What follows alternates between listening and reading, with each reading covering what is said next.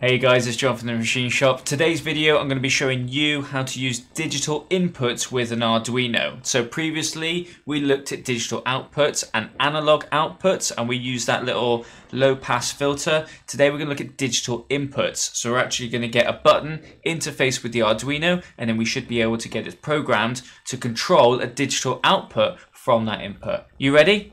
No? You sure? Well I'm going to do it anyway even if you're not. You'll have to watch this video when you are.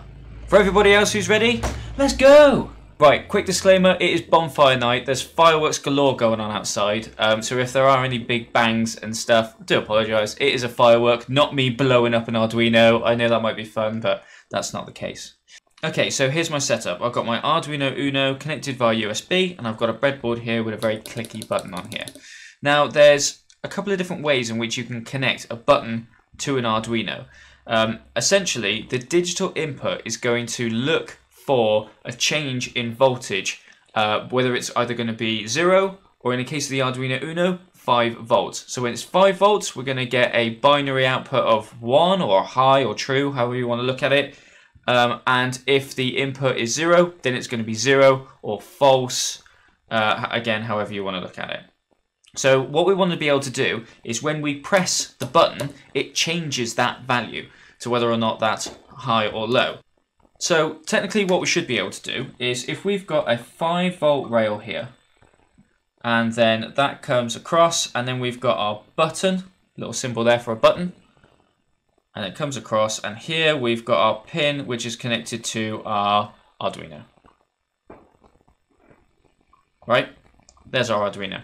So what that would happen is here, when we press down on the button, this is going to connect together and create 5 volts and send it to the Arduino. And the Arduino is going to be, yeah, that's 1 volt.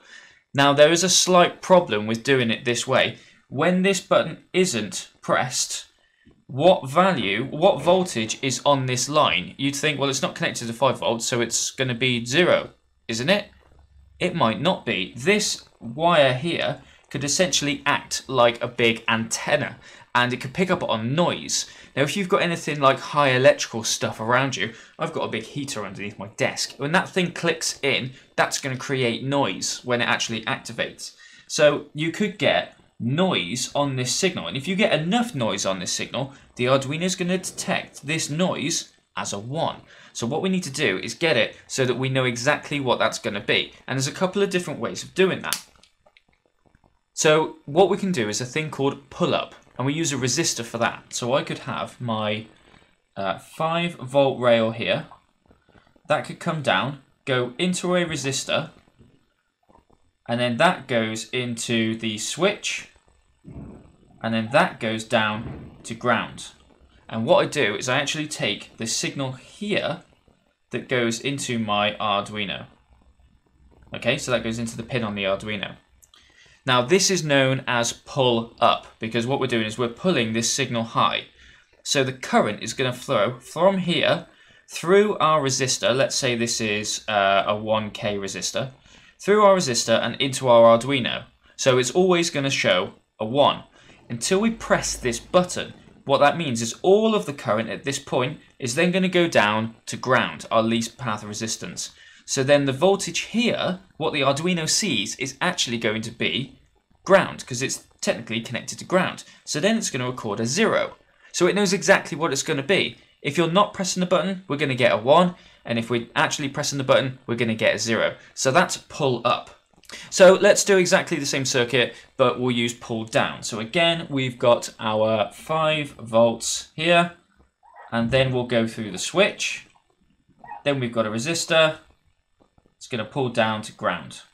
And then we take this section here to go to our Arduino pin. Okay, so what that means is that all the time when we're not pressing the button, the Arduino is connected to ground through the resistor. Okay, so it's always going to see zero. When we press the button, it's going to connect our Arduino to our 5 volt rail, so then it's going to see a 1. Okay, so let's have a go at implementing that circuit on our Arduino here on our little breadboard. Okay, so we've got our setup, we've got our breadboard, and we've got our Arduino. I've got a resistor here, and I've got a bunch of wires. Okay, so let's get our resistor. I'm going to take, let's do a pull-up to start with. So I'm going to take uh, one leg of my my switch here, and I'm going to go into the red the red line on my um, breadboard here, and I'm going to connect my red line. I'm going to use a white wire for red, obviously. Well done, John. And I'm going to connect that to my 5 volt rail on my Arduino. It's conveniently written on the side of my Arduino here, so that's connecting into there. Okay, now the other side of my signal, if I remember, let me draw the, uh, the thing for you again. So it was the here, we've got our 5 volts. That's going through a resistor, and then that's going into the switch, and then that's going down to ground. So it's being pulled up, and then that output is going to our Arduino pin. Okay, so what we want to do is we have to have the other side of the switch connecting to ground. So that's going to go to there. And then we also then want to tap off from this signal here. So that's in between the uh, switch and the resistor. So the same point where the resistor attaches to the switch, I'm going to plug into pin 8. There we go. So that's going to be my input it's pin 8.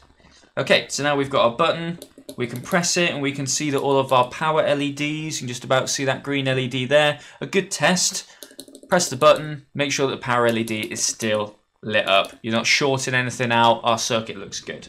Right, let's go over to the Arduino software and we'll have a look at C and getting this to do something and seeing the output, okay?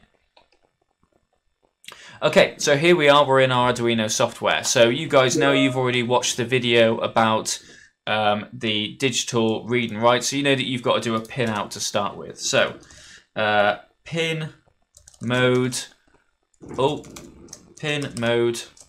Uh, so what I want to do is I want to have pin 8 as an input. There we go. So what I'm also going to do is when I uh, press the button, I want my LED on the board to illuminate. The LED on the Arduino Uno is pin 13. So pin uh, mode 13 I want to have as an output. Output. There we go. Okay, so now in my code bit here, I want to use, uh, can you remember when we did the, um, the writing? We used digital write. That was to get the output to work. So to read an input, guess what it's got to be? Digital read. Now, with these functions, it's quite handy. What they do is you can call digital read and what the pin is, and it will return what the actual value is. So if I do if digital read, and then I tell it what pin I want to read, I want to read pin 8,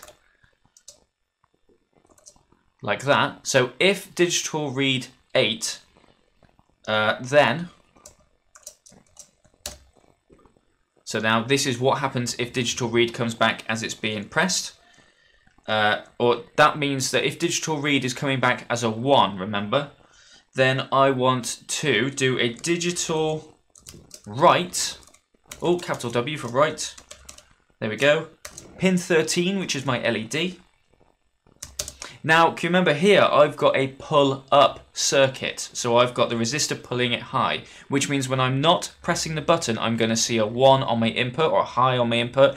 And when I do press the button, I see a 0. I want the LED to come on when I'm pressing the button. So here, uh, if I'm pressing the button, that's gonna my digital read is gonna come back as a zero. So there, this is saying that if digital read comes back as a one, so that means I'm not pressing it. So my digital write, I want to set that to low. So I'm not pressing it, turn the LED off. Then what I can do is an else. And I put my squirrelies. There we go. Else digital write. Oh, that was a good firework. 13, I want to set it to high. So that means that if you read this as a 1, turn it off, else set it to high. So what that should do is when I press the button, it turns my LED on. Let's send that over to the thing. Let's see if I got my code right first time. So it's compiling the sketch.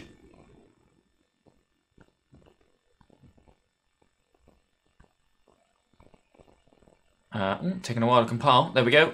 Yeah, so it's happy with the compile and it's doing the upload. Okay, so on my board now, let me go back over to the overhead camera. So on my board now, just where my finger is, is where the LED is. So if I press the button, can you just about see? It's a very small LED, I'll give you that, but the LED is coming on. So it's reading my digital input and outputting on the digital output. Now, there's one other trick that I want to show you. What we can do is the Arduino, uh, especially the chip that's on the Arduino Uno, it's got a very special feature where it's got built-in pull-up. Now here, it, when I declare my input, I can actually input pull-up uh, with capital letters. P-U-L-O-U-P. There we go, so it changes to input pull-up. So now I don't need to have that resistor in place in my circuit. All I need to do is connect the switch to ground. So it's pulling it up inside the Arduino. All I need to do is have the input go to the switch and then to ground. So let me draw the circuit for you. So here we go. So the circuit now is just going to be our pin coming from our Arduino into the switch and then the switch connected to ground. No resistors required, no nothing. We just need two wires, one going to ground, one going to the Arduino. Let's implement that on here. So what we don't need is the 5 volt rail. Let's get rid of that. We don't need the resistor. All I need is my ground signal, which is this one here, and the signal going to pin 8, which is this one here. So now it'll be acting as a pull-up. So let's go back into our code. Uh, remember we need to change this. So now digital read 8 is being pulled high. So at the moment it's not connected to the ground. It's being pulled high so it will turn it on. We don't want to do that because we're not pressing our button. So we want to set that to low. And then we else when we press the button we turn on the LED high. So let's send this over to Arduino and see if we've got it working. So, uploading. Okay, so our board is currently showing no LED, and when I press the button, the LED comes on. Perfect. It's exactly what we want to do. Great, so we've been able to implement a digital input and a digital output on our Arduino, and I've also shown you a little trick of how to limit what kind of components that you need. Essentially, to get a digital input, you just need some sort of button and two wires. Very cool. Alright, thanks for joining me on this video. If you like this video, hit the subscribe and the like button. Tell all your friends about it on social media. Whilst you're there, you can find us at Machine Shop UK on Facebook, Instagram and Twitter. Also visit our website, themachineshop.uk, where you can find links to all the videos and feature our online shop, where we can sell loads of all this stuff to you, no problems. Grant, alright, thank you for joining me, and I will see you in the next fantastic Arduino video. Bye!